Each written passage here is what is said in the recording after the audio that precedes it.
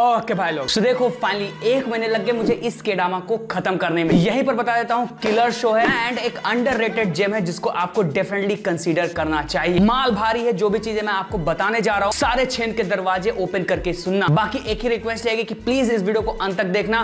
बहुत ज़्यादा मैंने मेहनत किया है इस केडामा को देखने के लिए। तो अगर आप इसको अंत तक देख लोगे तो मेरी मेहनत सफल हो जाए साथ ही साथ चैनल पर नए ऐसी वीडियोस देखना पसंद स्पेशली केडामा से रिलेटेड तो चैनल को सब्सक्राइब करके हमारी फैमिली का हिस्सा बन सकते हो। कुछ टाइम पहले मैंने आपको एक ऐसे ही केडामा के बारे में बताया था, जिसको जिसने भी देखा, काफ़ी ज़्यादा एंजॉय किया। नाम था कनेक्शन नेक्स्ट उसके कुछ टाइम के बाद मैंने एक और केडामा के बारे में बताया, जिसको जिसने भी देखा, उसका माइंड एकदम कैपिटल बोल्ड लेटर में एफ़ सी यू के हो गया। एंड उस केडामा का नाम था सिग्नल ग्यारह ग्यारह नाम से रीमेक आई उसकी बट इन सबको हटा करके आज जिस केडामा के हम बात करने वाले हैं, वो भाई एकदम आपको मिस्टीरियस नेक्स्ट लेवल जर्नी पर ले जाएगा, जिसको देख के आपको डेफिनेटली मज़ा आएगा। इस केडामा का नाम है ब्लाइंड जिसके सीज़न को देखने के लिए भाई आपको सोलह एपिसोड देखने हैं। इस प्लेटफॉर्म पर अवेलेबल है, मुझे ऑफिशियली नहीं पता बट इसको देखने के लिए आपको इंटरनेट की शक्तियों का सहारा लेना पड़ेगा। बाकी भाई डब्ड में है नहीं तो ये उन्हीं के लिए जो कि कुछ बवाल लेवल की चीज़ देखना चाहते हैं। बवाल लेवल की है भाई, इसीलिए हिंदी डब में नहीं है। कहानी इसकी ऐसी है कि एक चाइल्ड वेलफेयर नाम से कह सकते हो बच्चों का ऑर्फनेज सेंटर है। वहाँ पर भाई काफ़ी छोटे छोटे बच्चे हैं एंड उन बच्चों के साथ कुछ मिस्टीरियस चीज़ें हो रही है। मोटा मोटा चाइल्ड अब्यूज पकड़ के चल सकते हो। ये जो मैंने चीज़ आपको अभी बताई, ये इस केडामा का हार्ट है। लेकिन जो रियल कहानी वो आपको 20 साल के बाद देखने को मिलती है। जहाँ पर जर्नी फॉलो करनी आपको दो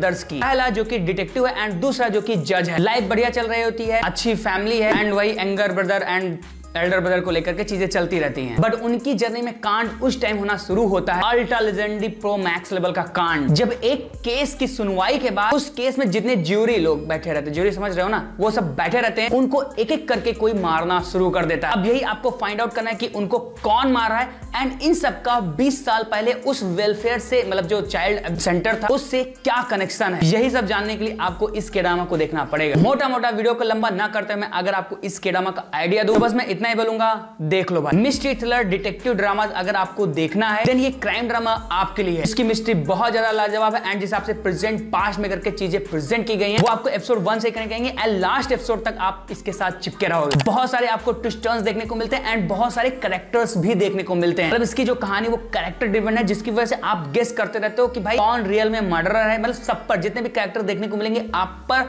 आपका जो शक है सब पर जाएगा। मतलब बैठे हुए दिमाग के घोड़ों को आपको दौड़ाना पड़ेगा, ब्रेन को यूज़ करना पड़ेगा। एक्शन, थ्रिल, टेंशन, एक्साइटमेंट, ये जो चीज़ें हैं वो आपको इस कैडम में काफ़ी हैवली करके प्रोवाइड की गई बाकी कहानी, उसके twist screenplay romantic angle या फिर जो मर्डर किलिंग वगैरह देखने को मिलती, उन सब के अलावा जो आपको एक्टर्स की परफॉर्मेंस देखने को मिलती, भाई, वो भी बहुत ज़्यादा लाजवाब। मज़ा आएगा आपको देख करके एंड जब दोनों ब्रदर एक दूसरे के सामने आएँगे तो उस सिचुएशन पर जिस आपसे कैमरा एंगल हुआ या जो टेंस माहौल के थ्रू बीजीएम प्रोवाइड किया गया है। भाई, देख लो, बस, वो फीलिंग आप इस कैडमा को जब देखोगे, तब पता चलेगा। प्रोडक्शन वैल्यू एंड जो अदर डिपार्टमेंट है, उसमें भी ये चीज़ आपको डिसपॉइंट नहीं करेगी। प्रॉब्लम की बात करते हो इस चीज़ की प्रॉब्लम ये है कि अगर आप एक प्रो ऑडियंस हो गए लाइक माउस के ड्रामा या फिर कनेक्शन जैसे ब्रिलियंट के ड्रामा अगर आपने देख रखे हैं सेकंड हाफ़ में मतलब एंडिंग के जस्ट पहले सीरीज़ की कुछ चीज़ें जो कि आपको प्रेडिक्टेबल टाइप की फील हो सकती है। एंड साथ ही साथ इसकी एंडिंग को देखने के बाद कुछ लोगों के अंदर थोड़ा सा मिक्स फीलिंग आ सकती है। सेकंड पोर्सन में अगर मेकर्स थोड़ा चीज़ों को और टाइट करते तो ये one of the greatest K drama from the Korean industry बन सकता था। But still it's very good crime mystery thriller drama